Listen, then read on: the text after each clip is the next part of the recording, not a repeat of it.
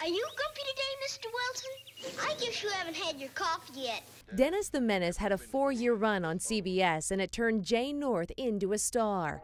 But when the show was over, Jay, who was only 11 years old, began to believe his career was over too. All the pressure that I had was make people love you, make people enjoy you. And all of a sudden it wasn't there anymore. And when all that ends, it's like you're turned inside out and you go outside and no one's fawning over you or paying attention to you and it's it's really something to come to terms with. Like Jay, Jeannie Russell also had a difficult time finding work, but she thanks her mother for helping her launch a career outside of acting. When I was 18 years old and depressed because I wasn't working, she handed me a bank book. And she said, "Sweetheart, your career may be over, but look what show business did for you." And I thought, whoa, you know, and I put myself through chiropractic school. Jeannie is in practice to this day in North Hollywood, but she also never forgot her roots as a child actor.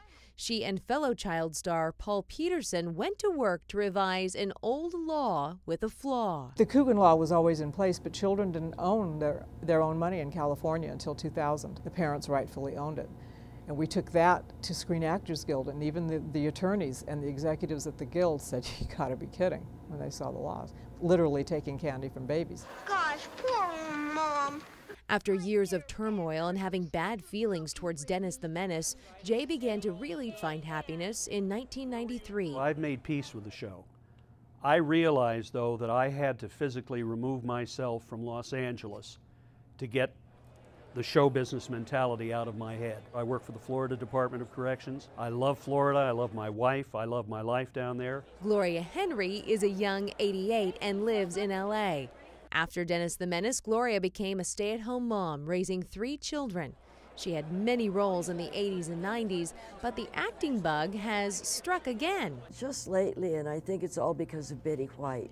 I think if she can't have all the jobs, you know, if she's so proud of being 89. Who knows what the future holds, but one thing is for sure.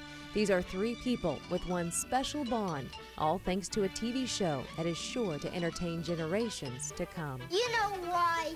Because you're the best mom in the whole world. Thank you, Dennis.